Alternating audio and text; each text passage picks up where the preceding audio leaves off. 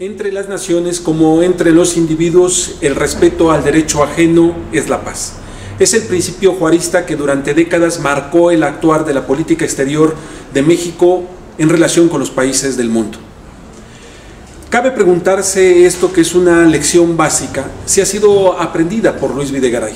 Usted recordará que en enero de este año, al tomar posesión, reconoció que acudía al encargo para aprender, entre otras cosas más.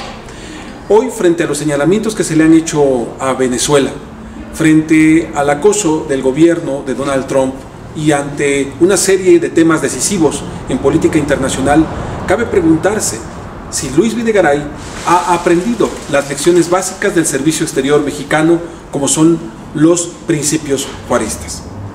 Cabe preguntarse esto porque después de la declaración de Luis Videgaray ante la OEA, el gobierno de Venezuela ha instruido a su representante para que lleve asuntos como el caso de los 43 desaparecidos de Ayotzinapa también al seno de la OEA. Por supuesto que México se expone a que así como asume una postura distinta a la que ha tomado en décadas anteriores, también sean estos países quienes asuman una posición diferente hacia un país hermano y hacia un pueblo que ha sido respetado y querido también en ese mismo lapso.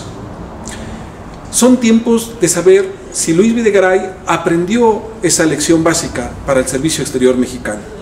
Es tiempo de preguntarse si después de este viraje que está tomando la política exterior de nuestro país, que no es, no es nuevo este viraje, lo vimos en el sexenio, en las dos secciones anteriores, em, este viraje pondrá también el dedo en la llaga de asuntos que le duelen mucho al gobierno, como es la desaparición de los 43 eh, estudiantes de Ayotzinapa, los eh, reporteros, los periodistas que están cayendo día con día y por supuesto el asunto del narcotráfico.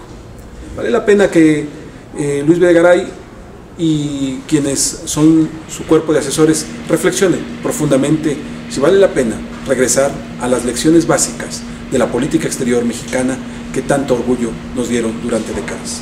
Nos vemos en la próxima, su servidor y amigo Abel Pérez Rojas, desde su casa sabersinfin.com. Hasta la próxima.